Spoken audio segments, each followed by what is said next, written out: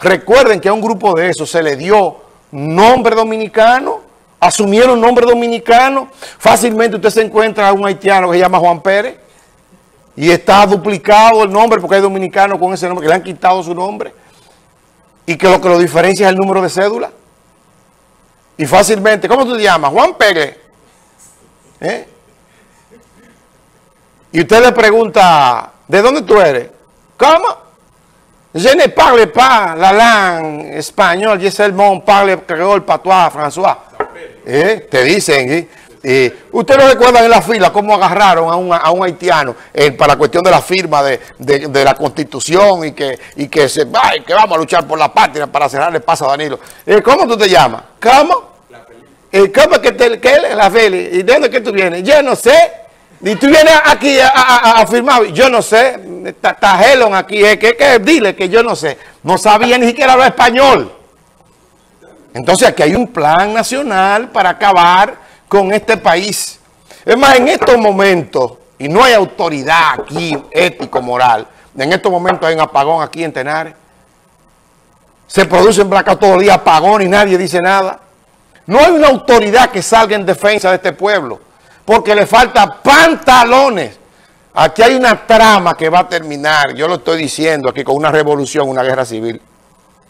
Cuando el dominicano venga a despertar, porque le estamos dando facilidades. Nosotros vamos a ser extranjeros en nuestro propio suelo. Aquí hay una presencia real de 3 millones de haitianos. Y esos 3 millones de haitianos, nosotros cedulamos 600 mil. Esos 600 mil dirigidos pueden cambiar hasta el curso de unas elecciones aquí.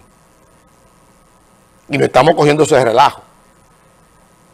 Por eso yo quiero felicitar, antes de pasar con Guillermo Moreno, quiero felicitar Señor director, no sé si tenemos la imagen ahí, el video, que lo pasé ayer y lo reiteramos hoy, del policía que, que se vistió de pantalones ante una invasión, un asunto haitiano. Y él dice, ustedes son los culpables de esta situación, que no cumplimos con el deber. Yo me voy para Haití como policía. Y hay de mí si no voy con un pasaporte y voy legal. ¿Eh? Dijo él. ¿Y tú sabes qué dijo él? Y allá, si no yo no voy, me meten preso o me matan, porque son eh, racistas. ¿eh? Y lo peor de todo eso es lo que está pasando con esta nación y lo que nosotros estamos permitiendo, esa invasión por el vientre, porque por ahí la tenemos. Usted sale por las calles de República Dominicana, busca un haitiano viejo, son todos jóvenes, andan todos con una mochilita, andan todos en grupo. Hasta en la construcción de los desvergonzados y descarados empresarios dominicanos, comenzando por el Estado, que es el que más contrata haitianos ilegales para sus construcciones. Hablan ellos en, en, en, en, en patuá ¿eh? y en creol, y no le permiten ¿eh? que si fuese yo, bueno, si usted habla español se me va de aquí. Yo solamente he conocido dos ingenieros. Uno de ellos es el hermano mío, el ingeniero Sócrates Vargas, que han tocado importantes obras. Y no contratan haitianos. Si todos fuesen así, que se cambiara este país, pero esos mismos que están trabajando en tu condición son los mismos que te van a matar a ti, que te van a desplazar. Hay un rencor ancestral porque ellos entienden que le quitamos este territorio que es de ellos. Ellos dicen que hasta las mujeres de nosotros la van a coger. Y nos cogemos esos relajos. Y a lo que hablamos así nos tildan de racistas. Este país va a hacia su destrucción. Buenas noches, dígame. Buenas noches, Pitágoras. Sí. Y cuando me tenga el video listo me avisa. Sí, dígame. Te escucho, dígame.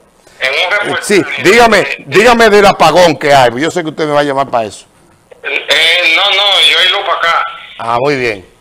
Eh, eh, para decirte, Pitágoras, que que hay un programa en la tarde que le enviaron un reportaje de la capital, de la, de, la autopista de las Américas, cómo los haitianos tienen ocupado esos barrios y la gente, los dominicanos en la capital, en ese barrio de ahí, de las Américas, la autopista de las Américas, eh, de, para, para ir al aeropuerto de las Américas, eh, eh, los dominicanos están trancados en su casa con miedo y los haitianos afuera con machete, con palo, con piedra, gritando y cogiendo eso para ellos. Y se ve un, dos guaguas de la policía y no le hacen absolutamente nada. Y un dominicano fue que grabó eso con su celular diciendo eso.